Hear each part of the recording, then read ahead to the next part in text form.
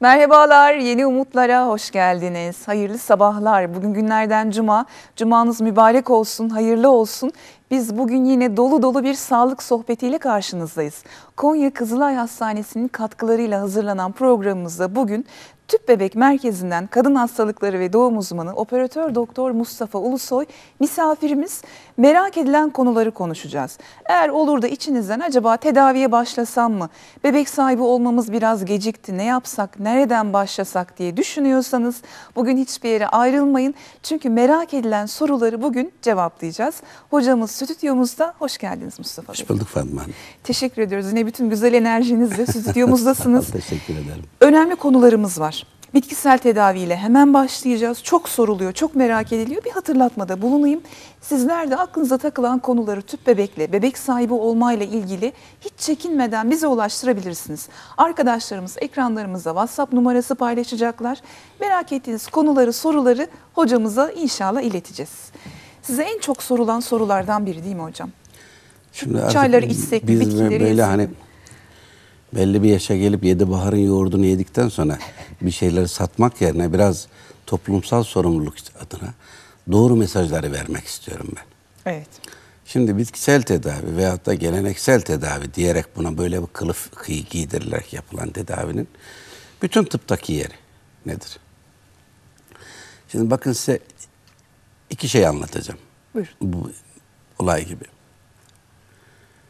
Eski Mısır'da ve bu Makedonyalıların Büyük İskender, Alexander the Great dedikleri, e, onun döneminde askerler yaralandığı zaman yaralı yerlerine küflü ekmek basarlarmış.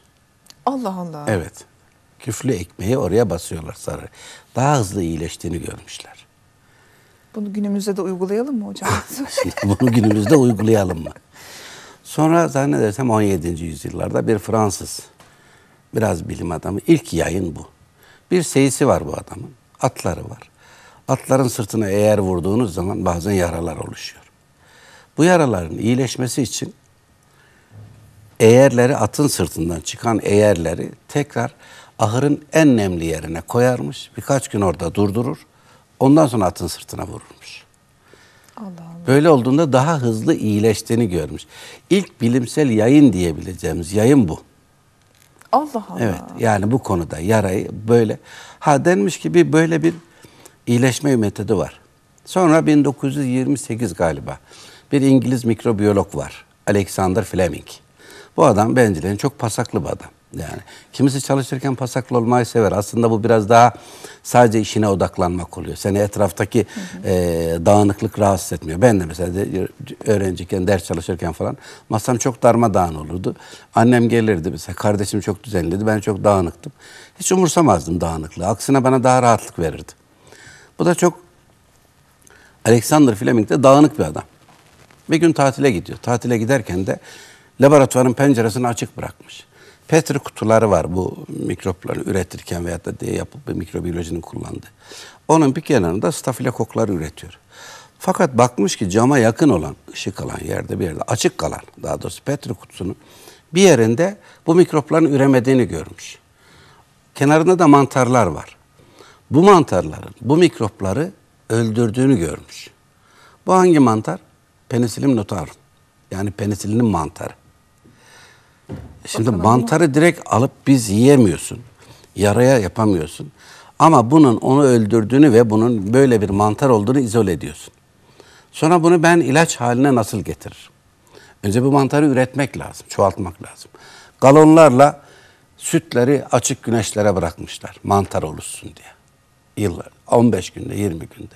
Sonra bu mantarı hafif izole ettikten sonra belli bir derecede e, farelerde denemişler. Bakmışlar ki enjekte edilen fareler iyileşmeye başlamış. Atlar da denemişler. İlk penisilin enjeksiyonları. Ve ilk penisilini kullanan insan orada gene bir emekli polis memuru. Gülünü bıçak şey budarken yüzünü kestirmiş ve ona yapılmış. İyileşmeye başlamış. Ama seri üretime geçemiyorsun. Elde yok. Hatta adamın idrarını alıp tekrar kendisine enjekte etmişler. İyileşme başlamış ama adamı kaybetmişler. Arkasından İkinci Dünya Savaşı başlıyor. Bütün laboratuvarlar her şey savaş enerjisine, savaş e, sanayisine dönüşünce bu adam İngiltere'de bir şey yapamıyor. Ta ki bir şeye Amerika'ya gidiyor. Glaxo ilaç firmasına isim vermiş oldum ama ve onların da şeyle 1940'lı yıllarda penisilinin seri üretimine başlanıyor. Peki küflü ekmekteki de mi penisilinde hocam? Evet. Aynı şey. Ama biz şimdi kalkıp efendim senin yarana küflü ekmek basalım, senin sırtına küflü eğer vuralım mı diyelim. Ne diyelim peki hocam? Bir şeyin ilaç haline gelebilmesi en az bugünkü teknolojide bile 25 yıl alıyor. Deneme, 25 kontrol. yıl Evet. gerekiyor arkadaşlar. Çoğu ilaçların orijini, içinde olan maddeler elbette bitkisel veyahut da hayvansal. Elbette. Ama bunun içindeki etken maddeyi izole etmek ve ilaç haline getirmek. Böyle dururken sen al 10 tane soğanı ez, suyunu iç veyahut da günlük şu kadar dişli aslan pençesi ye, perçemi ye veyahut da çoban çökerten ye. Hayır bunlar değil. Bunlar bizi kandırmak. Bunlar bizi kandırmak. Bakın bizim infertilite en büyük silahımız. Yumurtalıkları uyardığımız ilaçlar. Hastalarımız hepsi ismini bilirler. Bunların içindeki ilk şey HMG. Human Menopozal Gonadotropin. Yani menopozda kadınların kanında yükselen bir hormon var. FSH dediğimiz. Menopozda yüksek çıkar. Bu yumurtalıkları uyarır. Beyinden salgılanan bir hormon. Ama biz bunu ilk izole edemiyoruz. Gene eski Yunan'da veya eski Mısır'da gene o dönemde çocuğu olmayanlara yaşlı kadınların idrarını içirmişler. Ne diyorsunuz? Evet ve bundan da sonuç almışlar. Ha nasıl buldular bunu çok bilmiyoruz. Yaşlı kadınların idrarını içirdikleri zaman bunların çocuğunun olma, olduğunu görmüşler. Ha bunun üzerine bakılmış ki bu hormon idrarda çok daha fazla. E şimdi kadının idrarını toplasan idrardan izole edelim dediğinde kadınların yaşlı kadın zaten işemiyor ki. Yani bu idrarı toplayarak nasıl elde edeceksin? Atlardan toplamaya başlamışlar. Allah Allah. Sonra bunun içindeki proteinlerden arındırmaya başlanmış. En son rekombinant teknoloji dediğimiz teknolojiyle bunların hormonal yapısı ve izole edildikten sonra ortaya çıktıktan sonra şu anda rekombinant teknolojileri yapıyoruz. Hangi dozun, kaç dozun neyi ne kadar uyaracağını biliyoruz. O kadar ince bir E hesap. bu o- öyle ama. Yani bir çok affedersin özür dilerim. Atı ürkütmek için kamçı vurursun. Bu bir rastgele vuruştur. Onu hızlandırır. Ama bir de belli derecede arabaya gaz vererek hızlanmasını sağlamak var. Kontrollü bir şekilde. Ve zararsız olan. Bizim topraklarımızda bitkisel tedavi deyince akan sular duruyor gibi bir şey. İçimizde böyle bir yönelim mi var Bu ya? sadece bizde değil. Bu dünyanın her, Her toplumunda böyle? böyle? Her toplumunda. Ama bizdeki maalesef bu işin kontrolsüz olmaz. Ben bir dava biliyorum Amerika'dan. Kanser hastasına bitkisel tedavi veriliyor. Ve kanser hastası te- gerçek kanser tedavisini kesiyor.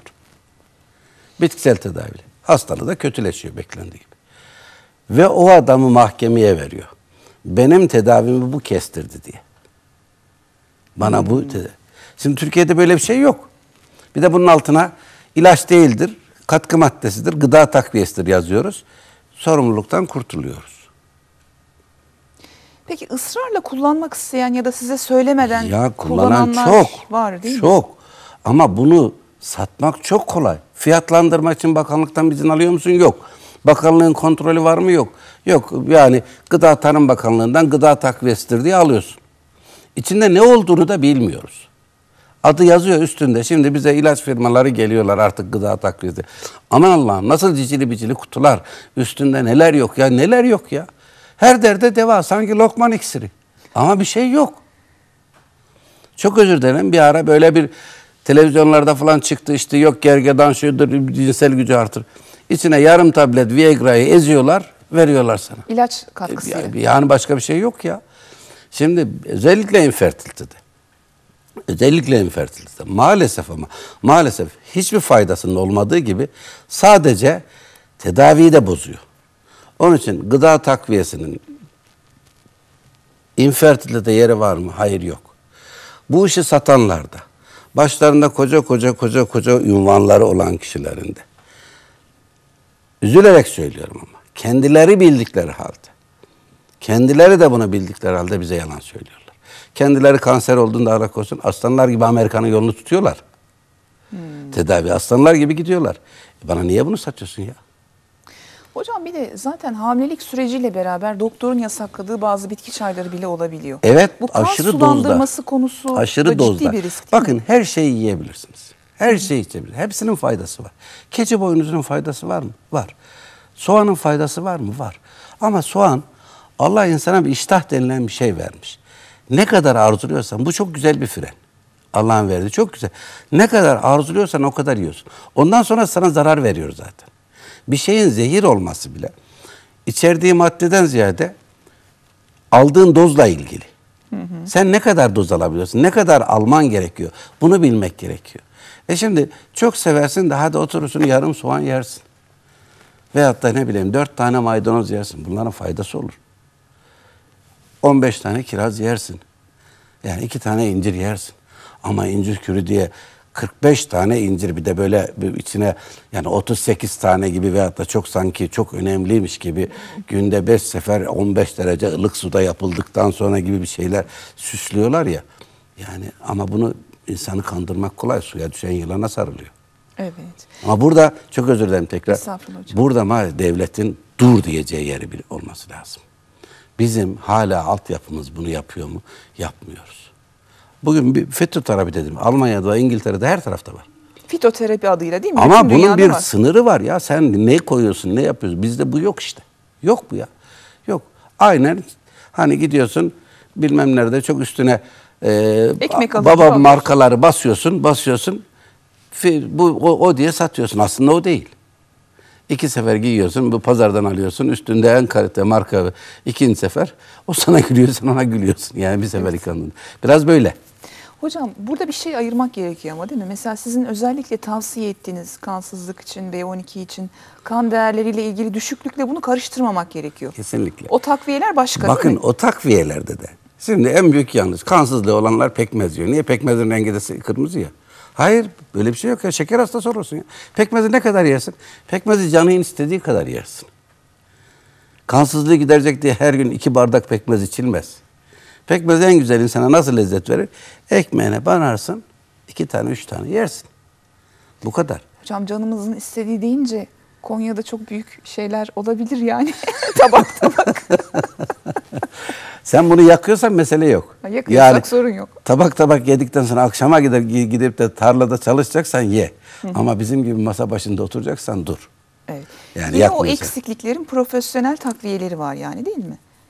Ya bu bakın bir şeyin tetkikini yaparsınız. Evet. Eksiği varsa gerekirse ilaç verirsiniz. Ha demiyorum ki her şeye ilaç kullanalım. Sadece ilaç de- endüstrisi çok mu dü- dü- dürüst? Hayır. Yani bazı yerlerde önce ilacını bulurlar, sonra buna hastalığını bulurlar. O ilacı satmak için. Aynen bilgisayar programlarını önce bir hani virüs kırma programı yaparlar. Ondan sonra onun virüsünü yaparlar ki o virüs kırma programını satabilsinler. İlaç sektöründe de bu var. diyorsunuz. Evet, orada da bu var. Bu orada da yapılıyor. Ama bir şeyin yani evet demir eksikliği varsa şunu yederiz. Yıllarca biz herkese ıspanak yedirdik. Ispanakta da çok fazla demirin olmadığını gördük. Ama ıspanak ıspanağı ben de severim. Yersin. Ama demir eksikliğimi gidereyim diye oturup her gün 2 kilo, 3 kilo ıspanak suyu içmeyeceksin. Evet. Hocam yalnız söylediğiniz çok önemli bir şey vardı. Yani faydasının olmadığı gibi bu bitkisel takviyeler zarar da verebilir vücudumuza. Mutlaka doktorumuza Kesinlikle. Esas esas yanlış burada. değil mi? Şimdi benim Mesela bir örnek var mı hocam Bak böyle şöyle bir zarardan? şey söyleyeyim tabii. Yani anlatabilmek için buna örnek veriyorum. Benim bir arkadaşım var Hüseyin Hoca. Selam söyleyeyim. Çok güzel türkü söyler. Ben de türkülerin hastasıyım. Geçenlerde bir, var- bir de Ali Hoca var. O da çok güzel türkü söyler. İkisini bir araya getirdim. İkisi birlikte çalıyorlar, söylüyorlar. Hani ikisinin de kıratı birbirine denk olunca inanılmaz güzel bir böyle meclis oldu. Dinliyoruz. Bir o söylüyor, bir o söylüyor. Hani bir biraz halk deyimi çok sevdiğim için söylüyorum. Hani çingen çingene çatmayınca kasnak kafaya geçmezmiş. Bunlar başlara biz de dinliyoruz. Ben bu bir ara güya eşlik etmek adına içimden geldiği için Hüseyin Hoca söylerken ben de onunla söylemeye başladım. Ali Hoca dedi ki dur, dur, doktor dedi bana. Çünkü onu dinlerken ben işin tadını kaçırdım. Bir orkestra vardır. Siz bunu dinlerken, çalarken çok seversiniz. Hafifçe mırıldanırsınız. Onun ritmini ve düzenini bozmadan. Ama siz kalkar aslanlar gibi ondan çok daha bağırarak söylerseniz onun da tadını kaçırırsınız. Onun da ritmini bozarsınız. Buraya kadar doğru mu? Evet. Şimdi bu bir normal bir, bir durum. Biz hastayı tedaviye alıyoruz. İlaç veriyoruz. Belli dozlarda ilaç veriyoruz. Cevabını alacağız. Ama hasta bir yerden duyduğu soğan kürünü, incir kürünü ya ben bir yerde okudum. 15 tane soğanı yumrukla ezeceksin bir de böyle kesmeyeceksin. Ondan sonra onun suyunu kaynatacaksın. Günde 3 sefer içeceksin. O onu da alıyor. Benim o zaman verdiğim ve tedavide almak istediğim cevabı da bozuyor. Çünkü onun içinde de benim vermek istediklerimden olanlar var. O hormonlardan var, ötekinden var. Ama o zaman benim verdiğimin ritmini de bozuyor. Ya bu hasta niye bu kadar aşırı cevap verdi diyorsun bazen. Veya niye cevap vermedi diyorsun. Yani dozu 300 verdiğinde alacağım cevap aşağı yukarı şudur diyorsun. Buna göre tabii bir bakıyorsun ki cevap birdenbire patlamış. Allah Allah ne oldu diyorsun. Sonra 3 gün, üç gün sonra bir daha erkenden cevabın kesildiğini ve foliküllerin söndüğünü görüyorsun. E, soruyorsun, e ben diyor soğan kürü kullanıyordum, ben incir kürü kullanıyordum. İşin bütün ritmini yani orkestranın bütün düzenini bozuyorsunuz. En büyük yanlış da bu. Tedavideki başarınızı da olumsuz etkiliyorsunuz. Onun için bir, asla bitkisel tedavileri, aşırı dozda bitkisel, her şeyi yiyin. Her şeyi yiyebilirsiniz. Bu çok doğrusu. Yani hepsinde Allah'ın verdiği nimetler var dengeli olarak. Bu en güzel kim bunu ayarlar? Vücut kendisi ayarlıyor. Canın ne istiyor? Canın çekiyor. Bir de mev- mevsiminde yemek var. En önemlisi bu. Çok kıymetli. Ben eşimle en çok yani tenkit ettiğim taraflarda var şeyde ama en çok sevdiğim şey bir şey mevsiminde yedir. Kışın bizim eve domates girmez. Ha ne güzel. Girmez. Kışın ne yetişiyor? Turp giriyor. Gün yazdan kuruttuklarını yiyorsun. Yazın kalkıyorsun. Karpuz. Karpuzun mevsimi ne zaman? Temmuz. Biz erkenden karpuz almayız. Bu herkes için böyle. Yani mevsiminde yediğin zaman günlük çıkanı mevsiminde ye. Senin ek bir şey almana gerek yok zaten. Vücut kendisi bunu ayarlıyor. Hakikaten böyle de insanın yazı, yazın canı çok fazla portakal çekmez. Ne zaman çeker? Narı güz geldiğinde istiyorsun. Portakalı kışın istiyorsun. Evet. Yani bu biraz e, hani vücudun kendi ayarladığı bir ritim. İştah bizim en güzel uyarıcımız ve frenimiz. İştahın kesildiyse yani dengeli bir yiyorsan kesildiyse zaten vücut alacağını almıştır. Hocam hemen bir soru paylaşıyorum. İzleyicimiz demiş ki hiçbir sebep yokken gebelik oluşmuyor. 32 yaşındayım, eşim 33 yaşında, 5 yıllık evliyiz demiş. Şimdi son en çok büyük moda açıklanamayan en son iyi moda açıklanamayan infertilite benimki. Açıklanamayan infertilite. Açıklanamayan infertilite oranı bundan 10 yıl önce yüzde 25'ti. 100 hastanın 25'inde nedenini bilmiyorduk. Ama şimdi bu oran yüzde 10'a düştü. Doğru in- incelenirse. Hiçbir neden yok dediğin hastanın acaba laparoskopisi, histereskopisi yapıldı mı?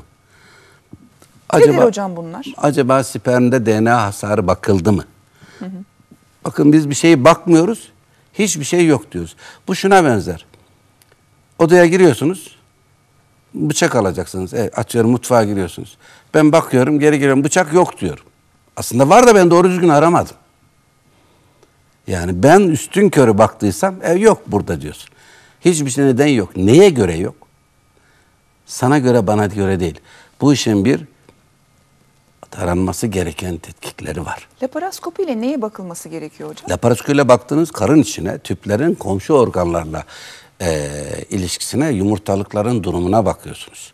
Tüplerin dıştan bir yapışıklığı var mı ona bakıyorsunuz. Karın içinde bir endometrioz var mı ona bakıyorsunuz. O kadar çok şeye bakıyorsunuz ki histeroskopiyle. Bazen filmde her şeyi göremezsiniz. Rahimin içine bakıyorsunuz. Acaba orası gebeliği tutabilecek durumda mı?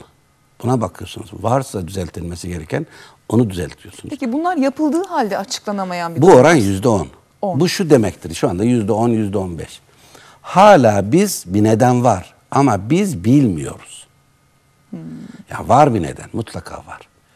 Biz bilmiyoruz. Açıklanamayan infertilite yani kibarcası bir şey var da biz bilmiyoruz da bilmiyoruz diyemiyoruz. Bulamadık demiyoruz. Peki yaşları nasıl değerlendiriyorsunuz? 30'lu yaşlardalar, ba- başındalar. Vallahi şöyle söyleyeyim. İnsanın yaratılışı doğurganlığı veya üretkinliği doğuştan Allah'tan farklı. Bir erkeğin 60 yaşında da çocuğu oluyor, 70'inde de olabiliyor. Ama kadının doğurganlığı bir eğri takip eder. 15 yaşından sonra başlar.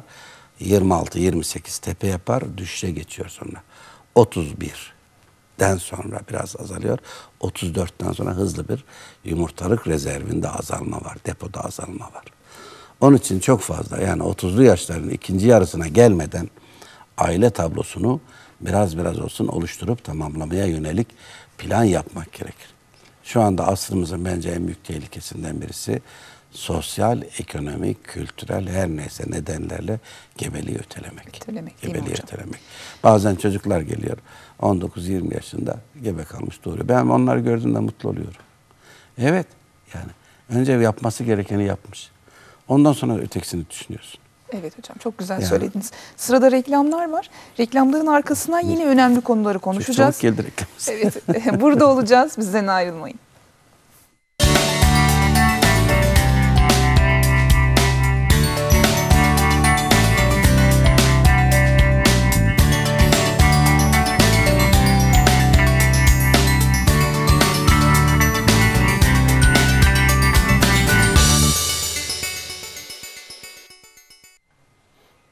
Yeni Umutlar devam ediyor bugün. Bebek sahibi olma sürecinde merak edilen konulara cevaplar veriyoruz. Canlı yayınımızda bize ulaşmak isterseniz ekranımızdaki numaralardan WhatsApp hattından misafirimiz operatör doktor Mustafa Ulusoy'a ulaşabilirsiniz. İlk bölümde bitkisel tedavinin bebek sahibi olma sürecinde yeri var mı dedik. Hocamız tarihten başladı. Eski Mısırlardan, Yunanistanlardan çok çarpıcı örnekler verdiniz. Programı kaçıranlar Facebook sayfasından, canlı yayından ve YouTube'dan da ilerleyen saatlerde takip edebilirsiniz. Şimdi hocam biraz da bu işin ticareti var ya her alanda. Hani gıda takviyelerinde dedik. Bir de işin manevi sömürüsü var maalesef. Tabii ki biz duaya iman eden Müslüman insanlarız ama bu işin sömürüsü parayla yapılıyor. Siz de yakından takipçisisiniz. Paylaştınız bizimle programdan önce. Neler söyleyelim hocam? Şimdi önce şunu belirtmek istiyorum. Her tedavide, her işte duanın yeri var mı? Elbette. Dua Müslümanın zırhı. İnsan ölüme de giderken, savaşa da giderken dua eder, sınava da girerken dua eder. Edersin. Ama önce altını doldurman gerekir. Hiç çalışmadan, sen okunmuş, su içip, şu kadar tesbih şunu yaparak üniversite sınavına girdiğinde el elde baş başta dönersin. Adam gibi çalışırsın, emeğini verirsin, terini akıtırsın. Sonra da Allah'ın nasip etmesi için dua edersin. Bu en doğrusu, yapılması gerekeni. Evet. Ama bunun işini ticarete dönüldüğü zaman maalesef bizim için hakikaten yani Allah'ın bize verdiği en büyük lütfu olan İslamiyeti buna kullanmak, dini buna kullanmak. Adını ne koyarlar bilmiyorum. Ya ben bir televizyon programında gördüm. İsmini vermeyeyim. Uydudan Kanal Y'da. Siz bu televizyonda bilmem 66 kaça mesaj yazın. Adınızı, annenizin adını yazın. O kadar. O çıkıyorsun işte e, Mehmetoğlu Mustafa sağlık diyor. Senin belinde bilmem ne var, şuranda şu var. Cenab-ı Allah sana şafi sıfatıyla şifa versin. Her mesaj 30 lira. Ve 3 saat süren bir program. Nedir hocam bu? Ya Allah bu, bu, Allah. bu insanları soymaktır, bu işkihattır. Bunlar işkihattır. Ama rağbet ediyor insanlar. Çok Ama enteresan. su- yılanı, suya düşen yılana sarılır. İnsan cahilse bunu kandırmak çok kolay. Ha ötekisi kalmıyor mu? Hakikaten suya düşen yılana sarılır. Ama buna birinin dur demesi lazım. Kim demesi lazım? İdarecilerimizin, devletin, Hani kurumların. bir şey var. ve Bir, zannedersem hani hadistir. Ee, birisini sevmiyorsanız hani önce e, dilinizle e, yani her neyse bakışınızla ona karşı reaksiyon göster. Elinizle düzeltin yanlışı. Ama İmam-ı Gazali diyor ki eliyle düzeltmek devletin işi diyor. Bir yanlışı sen elinle düzeltmeye kalkarsan, sen elinle düzeltmeye kalkarsan olmaz. Sen dilinle uyarabilirsin. Kalpten bunu söyleyebilirsin. Ama kalkıp biri yanlış yapıyor diye sen onu cezalandıramazsın. Cezalandırma işi devletin. Peki bebek sahibi Bizim de olma burada. sürecinde burada kullanılıyor mu hocam çok bu konu? Ya, çok. Ha, o kadar çok sömürüyorlar ki. Ve o inanılmaz paralar. Yani aynen tedavi kürü gibi kalkıp okuma kürleri biliyorum ya. Ama bunu ben buraya giden insanlara bir şey demiyorum. Ama dua ile Yani- bunu karıştırmayalım diyoruz. Bak tekrar söyleyeyim. Evet. Dua ayrı şey. Evet. Ama Çünkü insan para yürü- giriyorsa- para suya düşen yılana sarılır. Bu sadece onların değil. Bugün doktor olup da işin içine para girdiğinde kendisinin bile inanmadığı tedavileri yapanlar var mı? Çok var. Çok var. Ama devletin buradaki bu sınırları devletin koyması gerekiyor. Ya bu kadar sömürtmesinler. İnsanlara güzel olan şeylerimizi böyle bir amaç için kullanılmaması lazım. Evet. Bu çok üzücü. Bir de en önemli şeyi zamanını ve umutlarını çalıyorsun insanlar. Zamanını ve umutlarını çalıyorsun.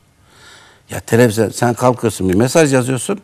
Mesaja bakarak yani haşa Allah sana öyle bir yetenek vermiş ki benim sadece adımı ve annemin adını bildiğinde benim bütün dertlerimi biliyorsun.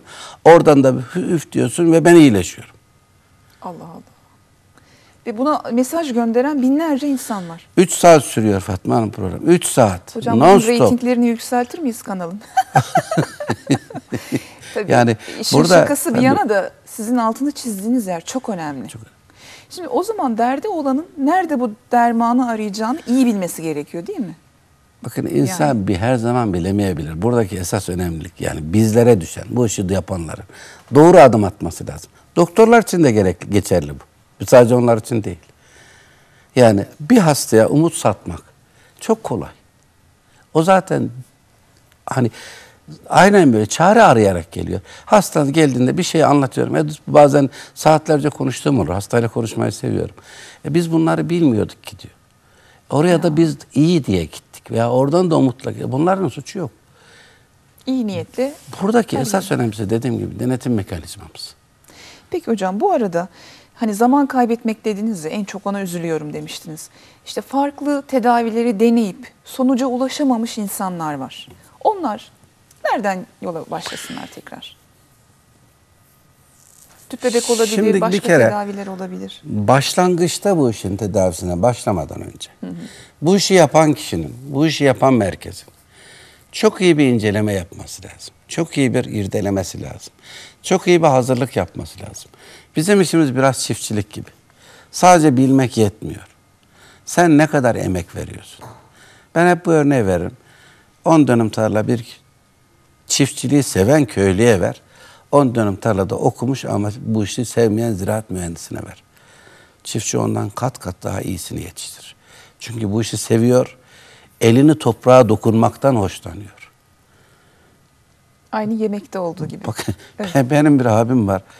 Çocukları o da hasta olsa ilgilenmez. Ama hayvancılıkta bunu dinliyorsa biliyordur. Ya danası hastalanmış kucağında danayla ağırda serum takmış bekliyor. Adam tarlada ektiği mahsule elini dokunmak ona o kadar mutlu ediyor ki bazen görüyorum. Çocuğa bakar gibi bakıyor. Oraya girdiğinde o kadar mutlu oluyor ki. Anlatabildim mi? Bu işi sevmen lazım. Ama ön hazırlığını çok iyi yapman lazım. Evet ben severim de tarlayı sürmeden, hazırlamadan ektim. Ya Allah'a havale ettim. Yok böyle bir şey ya. Peki hocam önce bir emek olmalı? vermen gerekiyor. Belli başlı neler Şimdi bir yapılmalı? kere önce hastalarımızdan şunu yapması lazım. Bu işin incelemesi, araştırması bazen tam bir ayımızı alır. Öyle mi? Tabii. Her gün yapacağın tetkikler farklıdır. Aynen çiftçilik gibi. Baharda sürersin, şu mevsimde şunu, bu mevsimde bunu. Adetin ikinci, üçüncü günü yapacağın tetkikler farklı. HSG rahim filmi çekeceğin gün farklı. Hormonlarına, bazı hormonlarına bakacağın gün farklı. Ultrasona bir ay bir gözleyeceksin. Aksaklığın veyahut da düzeltilmesi gereken ne olduğunu doğru bilmek lazım. Eşinin de tam tetkikine. Burada erkekler biraz kaçıyor. Benim sorunum yok. Zaten sen sorunum yok derken sorunlu biri olduğunu gösteriyorsun. Yani evet yani benim sorunum yok böyle bir şey olur mu ya? Hayır. Ondan sonra da işte açıklanamayan infertilite. Eşinin tetkikleri yapıldı mı? Yok o yaptırtmadı. E bunun adı açıklanamayan infertilite değil. Birincisi bu. İkincisi bunun sonunda hastayla da her şeyi düzgün paylaşmak lazım. Senin garanti çocuğun olur yüzde yüz çok mutlu. Ya hayır bakın senin taşıdığın umutları da taşıyorum, korkuları da taşıyorum. Bizim şu şöyle sorunumuz var. Aşabilirsek bu, aşamazsak bu. Ha tekrar yapılır mı? Tek ne yapmak gerekir? Esas önemli sizin sorduğunuz. Yani bunu paylaşıp gebe kalamazsa da. Eğer umudunu taşıyorsan, eğer güvenini sarsmadıysa birlikte olduğun klinik, aynı yere devam edin. Ama işin içinde güvensizlik varsa, hastasına güvenmediyseniz, ben bunu hep paylaşırım hastalarımda. Yanlış bir şey görürseniz, içine sinmezse, hani bizim deyimimizle benimle paylaşın diyor. Tedavi sürecinde. Tabii tedavi süresinde de benimle paylaşın. Benimle bunu paylaşın.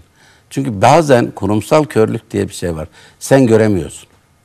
Karşındaki onu görüyor. Evet. Yani İletişime açık olmak kesinlikle. Ve birisi seninle önce merhaba demiş. Arkadaşsın veya hastan. Ayrıldıysa sen kendinde araman lazım. Ben yıllar gittiğim berbere gitmiyorsam o berberin düşünmesi lazım. Bu adam bana niye gelmedi diye.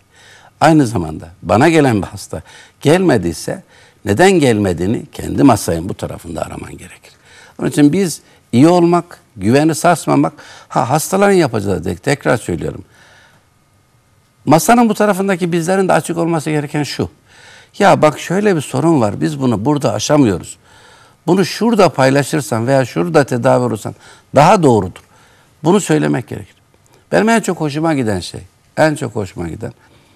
Üniversiteden bir hastam vardı. Biz epey uğraştık, gebe kalamadı. Bir gün geldi, hocam dedi, biz Ankara'da şuraya gitmek istiyoruz dedi. Sakın yanlış anlama dedi. Sen burası, bunu sana güvendiğimiz için geldik dedi. Burası için ne dersin dedi. Bak başka bir yere gidecek, bana sormaya geldi. Bu güven benim için en büyük zenginlik. Evet. En büyük zenginlik. Gittikleri yer de doğru bir yerdi. Ve gebe kaldılar. Onlar kadar ben de sevindim. Bazen biz bazı şeyleri atlayabiliriz. Bu herkes için geçerli. Herkes için geçerli. Evet. Yani o dönemde belki bir şeyi sen atlıyorsun. Ama dediğim gibi güveniniz varsa ve orası doğru şeyler yapıyorsa devam edin. Peki hocam bazen birkaç, bazen üç, bazen beş kez tüp bebeği deneyen insanlar var. Ama umutları da taze ve devam etmek istiyorlar bu yola. Ne yapmak gerekir? Vallahi ben kendi yakınımın altıncıda gebe kaldı. Altı- altıncıda. altıncıda. Yani ama kız o kadar inatçıydı ki benden daha inatçı çıktı. Ben yorulmuştum. Bazen diyordum ki başka bir yere gitse. Ama altıncı seferde bizde gebe kaldı. Böyle de olabiliyor. Tabii yani. Benim şimdi adını Mustafa koydukları bir hastam var. Çok seviniyorum böyle. Oğlunu daha önce başka yerde dört, iki tane de bizde denemesi vardı. Sonra vazgeçmişlerdi. Sonra bir gün tekrar geldiler, bir daha denedik. Bazen her şeyi aynısını yapıyorsun. Hani orada biraz işte nasip miydi, değil miydi, denk gelme var ya, bazen o da oluyor. Yani altıncı da yedinci de gebe kalan da var. Ama her sefer bizim bunu yaparken şunu bilmemiz gerekir. Hastayla da bunu. Bir sonrakine her sefer bir sonrakine şansımız biraz daha azalıyor. Onun için mümkün olduğu kadar ilk seferlerde gebe kalacak şekilde doğru hazırlık yapmamız gerekir. Hastaların da burada hastalardan istediğim bunu özellikle vurguluyorum. İnceleme süresinde, araştırma süresinde, ön hazırlık süresince ne olur biraz sabırlı olur. Bir ay diyorsunuz hocam. Bazen bir ay sonuçları sonunda ameliyat etmen gerekiyor. Ameliyat ediyorsun, iki ay daha bekliyorsun. Tedaviye başlamıyorsun. Ha bu süreç içinde kendiliğinde de gebe kalan oluyor. Ne güzel amenna. Keşke evet amenna aynen böyle. Peki hocam bir de ileri tetkikleri duyuyoruz. İşte genetikle ilgili bazı tetkikler, işte farklı çalışmalar. Bu konuda ben Konya'nın da ileride olduğunu duyuyorum. Bize neler anlatabilirsiniz? Diyelim ki daha önceden tüp bebek yapıldı, başarısız oldu. Yaşı da ilerliyor hanımefendinin. Böyle ileri tetkikleri tavsiye ediyor Şimdi musunuz? gerektiğinde tabii ki. Ama bunu her şey kadın doğumcunun kendisinin bilmesi yapması değil. Senin bazı hizmeti bazı yerlerden alman gerekir. Danışmanlık yapabileceğin bir danışman olarak aldığın ya da görüştüğün bir genetik merkezin. iyi bir genetik merkezi.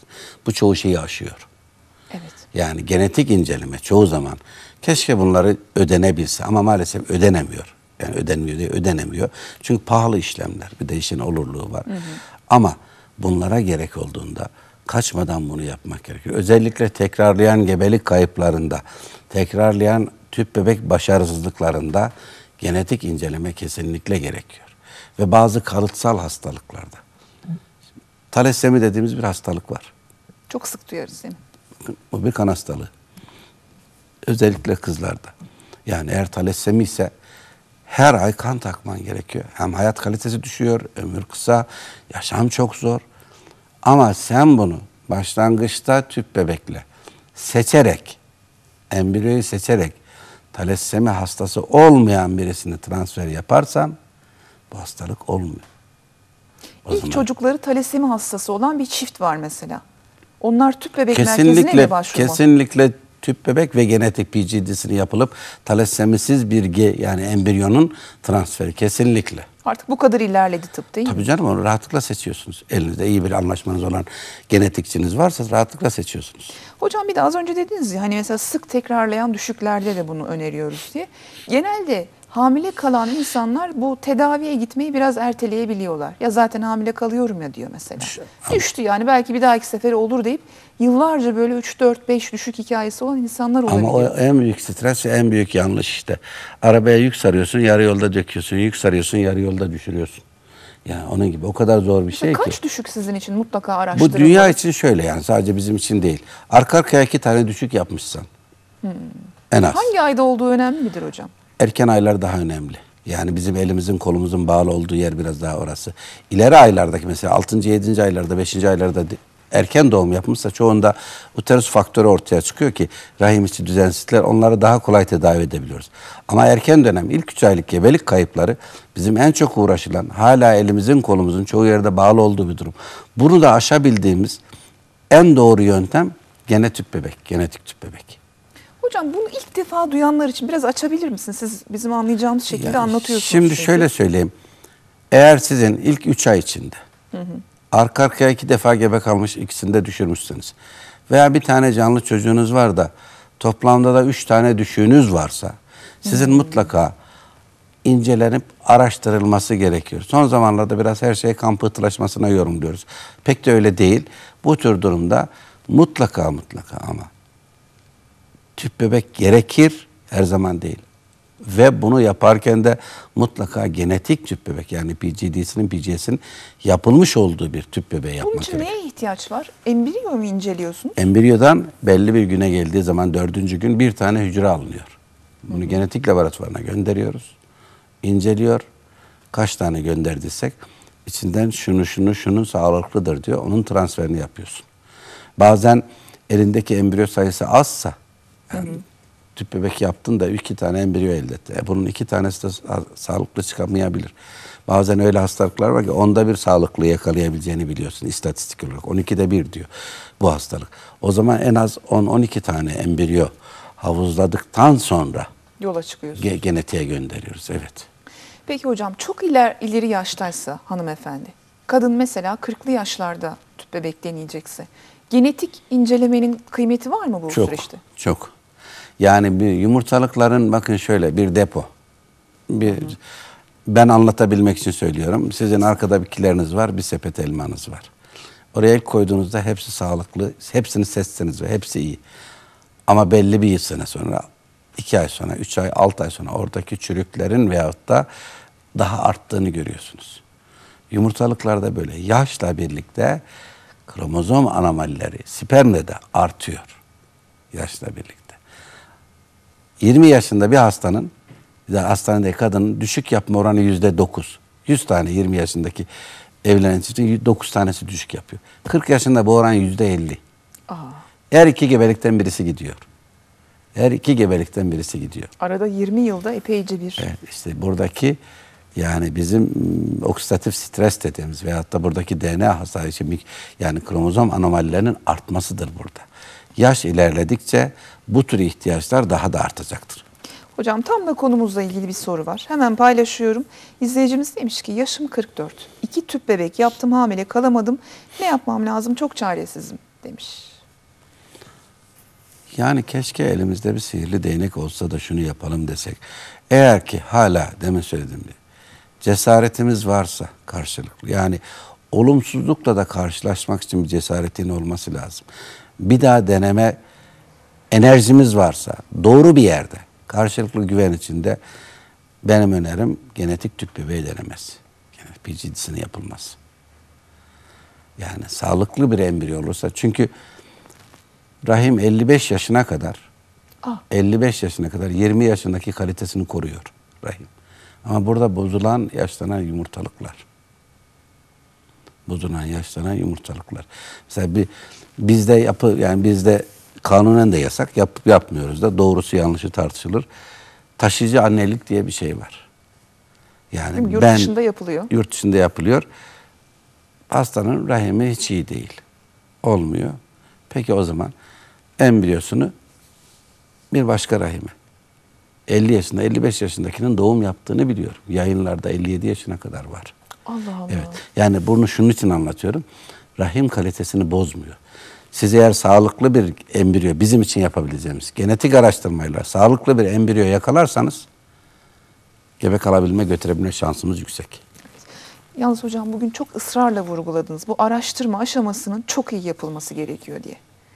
Eğer oradan bir şeyler atlandıysa çok üzücü değil İşte mi? burada bir hastanın sabırlı, iki doktorun da demin dediğim gibi emek vermeyi sevmesi lazım, uğraşması lazım.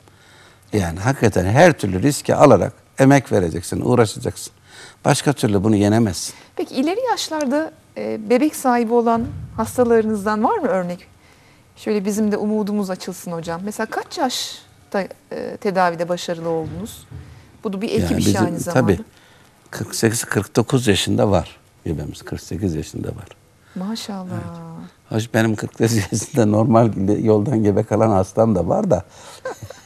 yani bu biraz genetik yapınla ilgili. Yani annesinin de diyor benim annem de 49 yaşında yani gebe kalmıştı diyor. E kendisi de 48'inde gebe kalmış. Ama esas burada önemli olan yani mümkün olduğu kadar bu işi gece bırakmamak. Evet var da yüzde kaçı gebe kalıyor 47-48 yaşında. Çok zorlaşıyor Tabii, bu iş. Yani iş daha zora sarıyor. Onun için biraz daha erken yaşta. Bir de burada hepsi vurgularım. Aile büyüklerinin. Bakın çocuğu olmayan yani çocuklarınızı çok fazla kulaktan duyma, kulaktan duyma komşu Hatice teyzenin veyahut da Hasan amcanın önerisiyle bekleyin demeyin. Bu işin standardı bir yıldır. Bir yıl içinde gebe kalınmadıysa, bir yıl bir yastığa baş koyup gebelik olmadıysa mutlaka bir araştırmaya başlansın. Yaş kaç olursa olsun mu hocam? Zaten bu erken yaşlar için. Siz 30-35 yaşındayken 30 yaşın üstünde evlendiyseniz bir yılı beklemeyin. Hemen gelin. Çünkü Ha, varsa bir şey o zaman tabii artık zamanımız kısıtlanıyor. Yani zamanımız azalmaya başlıyor. 20'li yaşlarda 22-23 yaşında evlenmişsin bir yıl birliktesiniz gebelik yok. Mutlaka gelin. Evet hocam. Peki bir de ilk bebeğini normal yollarla dünyaya getiren fakat ikinci çocuk sahibi olamayan çiftler var hocam. Onların hikayesi nedir? Neden böyle oluyor? Hani hep demin diyordum ya erken çocuk sahibi olmak. Bazı hastalıklar belli yaşlardan sonra biraz daha artıyor. Erken dönemde yok. Belli yaşlardan sonra. Endometriomalar. Belki 20 yaşındayken çok fazla olmuyor. 20-22 yaşında gebe iki tane arka arkaya gebe kalırsan bu hastalığı çok görmüyorsun. Ama bir tane doğurdun. Arada bir 9-10 yıl ara vereyim dedin. Bu arada geçirdiğin enfeksiyonlar tüplerine hasar verebiliyor. Rahimine hasar verebiliyor. Veya ortaya çıkan sonradan çıkan miyomlar, polipler.